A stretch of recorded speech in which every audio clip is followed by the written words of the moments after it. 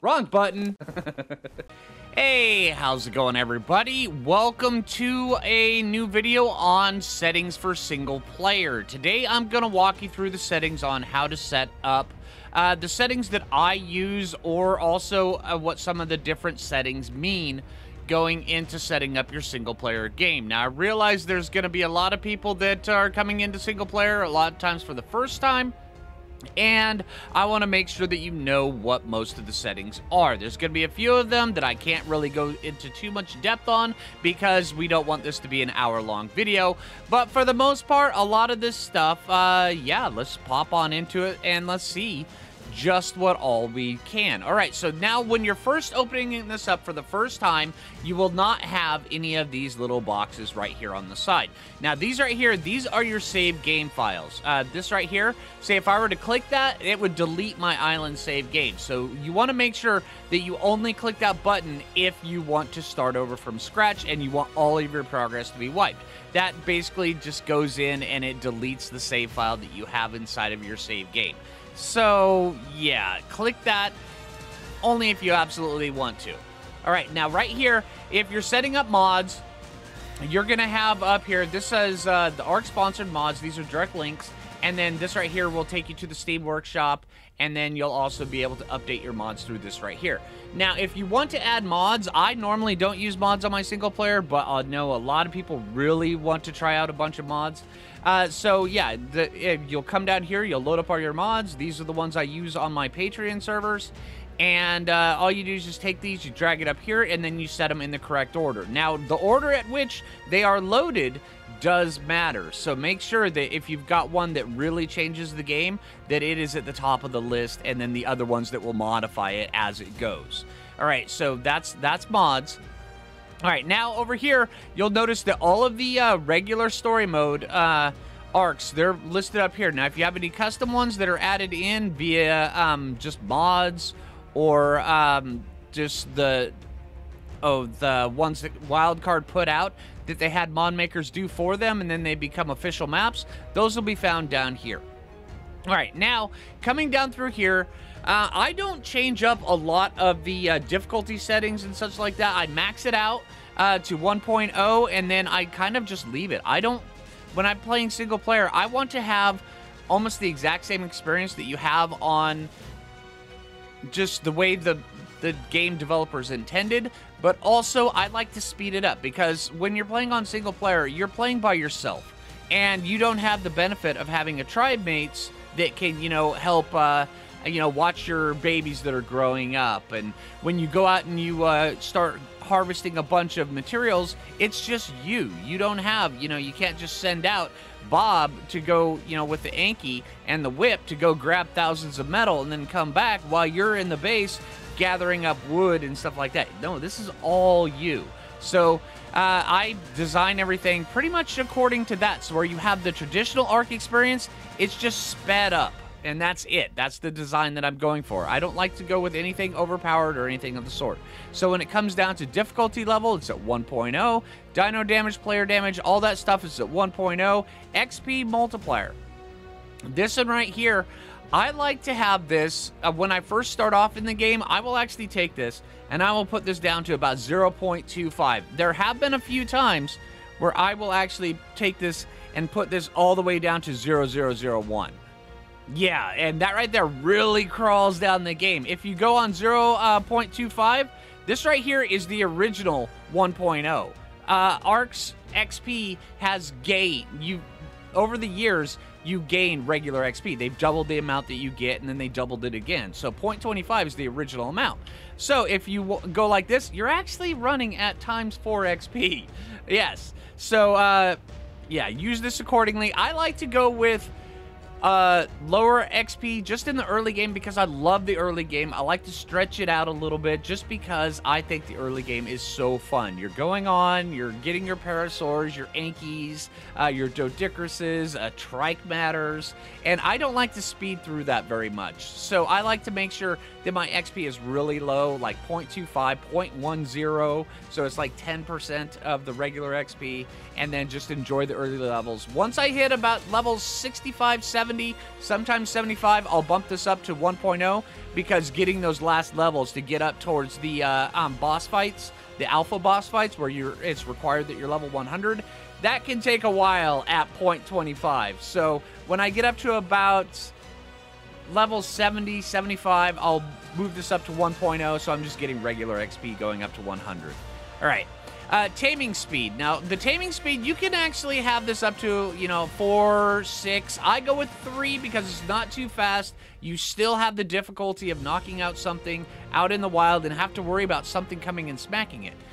But you also don't have it so where, you know, if it's like at taming speed is times 20, you're you knock out a level 150 trike, you throw one Mejoberry on it, and it's tamed. At, to me, that's not fun. Uh, I like the challenge. I like the difficulty. I don't like to spend hours doing it, so I have it at three. All right, let's go down here. Uh, these right here, some of these look like they're altered. They are not altered. This is the uh, standard. So, uh, except for harvest amount. I have it at 3 That's just because I'm in the really late game on my current playthrough. Um, normally, if I'm in you know the early game, mid game, late game, I'll go from 1.0 to 2, well 1.0 to 1.5 or to 2 or to 3 and then like that. But right now I'm in the really late game, so 3.0 where you really need all the metal and such like that. That that's um, it helps out with that. So at 1.0 you'll get it when you hit a bush, you'll get like two to three berries, sometimes five. Uh, depending when you hit, um, go to harvest setting three, you'll get about 15 berries, which in my opinion, I think that works. And this will this will work out really well for you when it comes to single player, uh, because like I said earlier, you're the only one harvesting stuff. So it's not super overpowered, but it is enough so where you're you don't feel like your time is wasted. All right, uh, going all the way down here, this is more of just the pretty standard stuff. Uh, allow third-person camera. If you like to be able to see your character, make sure you click this. All right. Um, these other ones, uh, they're really not that important because unless if you are hosting a dedicated server, but if you are, then having the player joined um, notify on is pretty good. Admin logging, this right here, is if anybody uses an admin command, it posts it inside the uh, um, oh the chat, which is really good when you're playing with other people, just so you can make sure that you know you know what's going on. All right, enable crosshair. This one right here is what posts the big, huge crosshair on your screen. I always have this enabled just because I like it. Uh, sometimes it's actually good to not have it on. All this that's, that's personal preference. PVE mode. PVE mode is a big one because if you have PVE turned on, you're not going to get cryo sickness. All right, but when you uh, are when when you're uh, breeding, it makes things a lot more difficult because of how you dispatch of any unwanted babies and such like that. But if you're on PvP mode, you do have cryo sickness, and then you can just go through and just cl clear out everything. It's really easy. Uh, you can level up dinos really easy with uh, um, PvP mode on and such. It's just a little bit easier, um, but it does fundamentally change how you play. But the biggest, the biggest thing is whether or not you will have sickness. If you have PvE, um, PvE mode on in single player, honestly, it's not such a huge deal. Just, yeah, it's, it's your decision, but this is what that does. All right, show map um, map player location. I always have this check checked because, I mean, granted, I really don't need this anymore since I've been playing Ark for so long, but it's just always a nice, healthy reminder. When you open up your map, you'll have a note, you'll have a uh, spot on there that says, "Hey, this is where you are. You are here." All right, uh, let's see. Going down here, maximum difficulty. Yeah, of course I have that checked. Enable PvP Gamma. Yes, I have that checked just because every once in a while I will go into PvP mode just because it makes things a little bit different on certain things. Use single player settings. This one right here is honestly, if you're going to use this, I would recommend that you don't use my breeding settings because it will break them. But if you do if you don't use single player settings, my, the breeding settings that I'll get into here in a little bit are really, really good for single player. So where you you actually can jump into the game and you can get some stuff done And like you know you come home from work, you sit down, you've got two maybe three hours where you want to get in do stuff. You don't want to have to set up timers for a giga that's um, raising up. You can get that done in the time frame. It's not super fast, but it is fast enough. You feel like you, you actually feel like you, you invest your, your time wisely when you're jumping in and you're act, you're able to do a bunch of stuff. But if you use single player settings, it breaks those uh, breeding settings, and then you can't get the imprints. So I never ever use single player settings, um, and also because single player settings they buff your dinos. Uh, they make the bosses less dangerous. They make uh, a lot of they make your dinos better while they make the um, oh the wild dinos less. And I don't like that. I want if you don't have single player settings checked, it's almost the same effectiveness as playing on a regular server. So I like to have that not checked. All right, corpse locator. This right here is the big, huge green beam that comes up when you die. I like to have that. Uh, it's matter of fact, I think the only reason why you wouldn't want to use that is if you're playing on hardcore mode, and if you die, you die. So, yeah. All right, disable structure pickup placement collision. This right here uh, means that uh, uh when you place things down, that uh, you're not going to have any collision. I like to, it, it, it enables you to build a lot better. So I always make sure that that's checked. All right, allow unlimited respecs. This right here is is kind of important if you're when you get into the late game because normally if you don't have this checked, you could only respec once per level. So say if you're level 115 and you uh, um, respec, you have to go to 160. That's a lot of experience before you have to uh, before you're able to respec. So I always have that res- uh, check just where if I need to, or if I screw up on my build, or if I misclick on something, I uh, a wrong button on something, then yeah, it's it, I can just respec. So once again, that's personal preference, but I I think it's great. All right, now, when it comes to these last ones, these last ones on this list will allow you to actually come up with some really interesting custom playthroughs if you're interested. You can, if you want to go through and you want to see if you there's no taming, you can actually just disable it. So it, it, it eliminates that desire because there's always going to be that pull. You know, even if you're going through, you're level 50 and you're like, ah, yeah, we're doing great but it'd be really nice to have a trike right now, and you just kind of just ruin it from there. This right here will actually just stop you from doing that, so yeah. All right, disable dino riding, same thing. Uh, show creative mode, this right here uh, shows if anybody on your uh, single player, say if you're running a dedicated server, is in single is in creative mode. All right, allow flyer speed leveling. This right here, way, way, way back in, I believe, early 2017, maybe 2018, they nerfed the ability to level up your speed. Before then, you could level up speed freely. And a lot of people really, really enjoyed that. But if it wasn't allowed on the uh, official servers at the time, I refused to do it. So I made sure that I was not leveling up my flyer. But this right here, this is your decision. Uh, if you want to have that Argent that just endors through the woods, there you go. This is how you do it, and you can get some really good stuff that way. All right, so uh, here we go into the advanced settings. All right, the advanced settings, the ones I use on here, um, honestly, they're not super over the top or anything like that. Then again, I don't do any over the top settings. All right, allow cave building PVE. Uh, I have that checked just because if I want to be able, when when you build your, I like to build what I call logout boxes or uh, um, respawn boxes outside the caves because inside the caves, bad things happen. And if you uh, build a respawn shack with a bed and a, a, little enclosed area with a storage box right outside the cave, then you can respawn and you can go in and you can have your fun. And then if you die, you just respawn right out there and you can sometimes run back in and get your stuff. Not all the time. Um, with with uh, without the cave building turned on, then the respawn shack has to be a long ways away from the cave because there's a certain amount of distance you have to go. That's why I have that. Allow flyer carry PvE. This one is really, really important because if you're playing on PvE um, for the no cryo sickness, if you don't have this checked, you can't pick up dinos with your um, with your flyers. So, yeah. All right, now when it comes around to this stuff, I don't change any of that.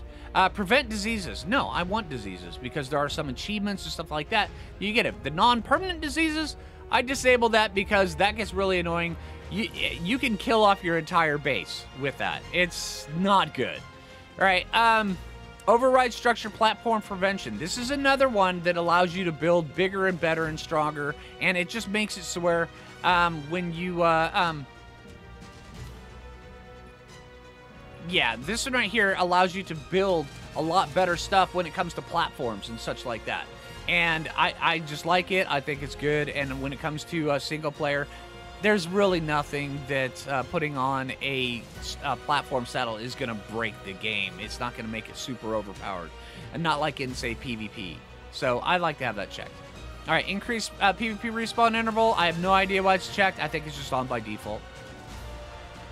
All right, so let's come down here. Uh, world settings. Now, this right here is where things get a little bit di um, different because this is where the imprint settings are, the breeding and the imprint. And now, these imprint settings, um, I've spent a lot of time perfecting these, and these are the ones that I go with just because um, it, there's a huge mathematical formula when it comes from the moment you start breeding to the moment the baby um, reaches maturity and you're able to put a saddle on it.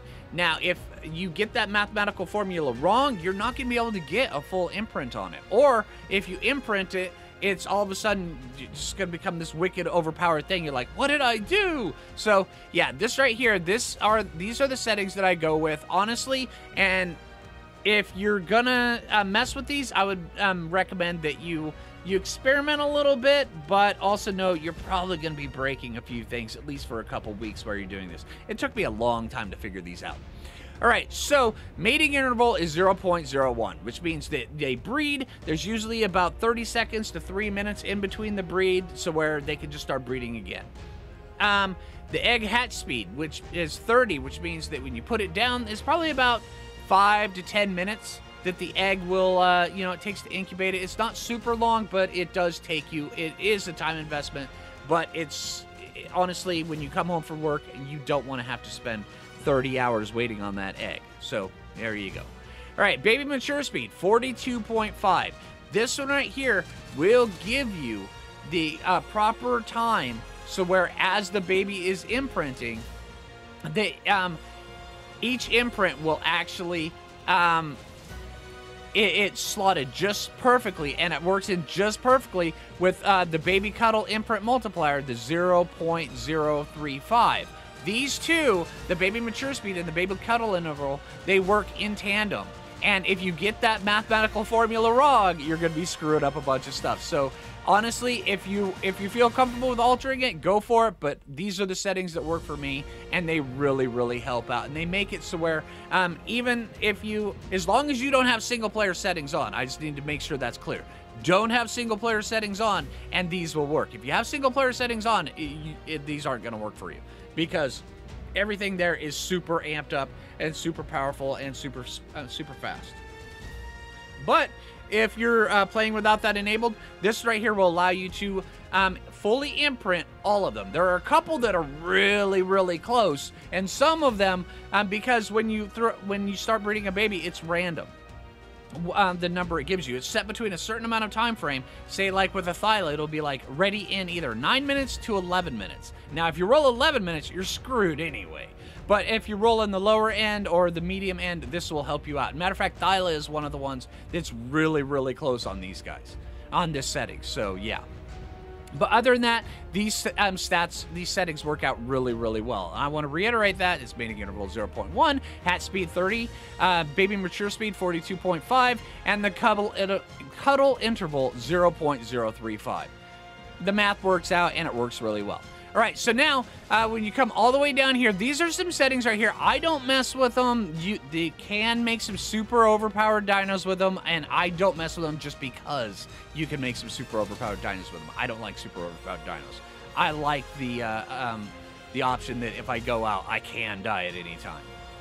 All right, now the day cycle speed. Um, this right here, um, the lower is the longer when it comes to these. Now, that's a question I get a lot. So, uh, on this right here, the day cycle speed, I have twice as long a day. So, honestly, on my Ark, I actually have a 48 hour day.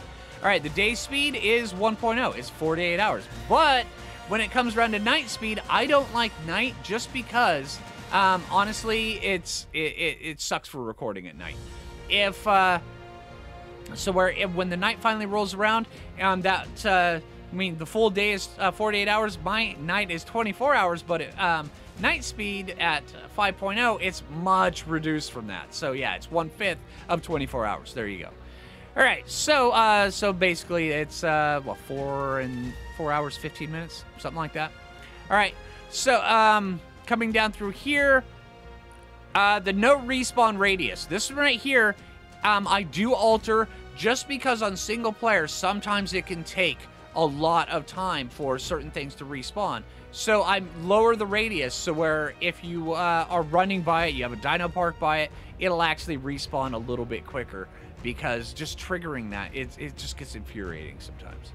All right. And also, I'm sure everybody's seen on the, um, you know, the regular servers where somebody builds something. I don't want to use the word pillaring, but I just did.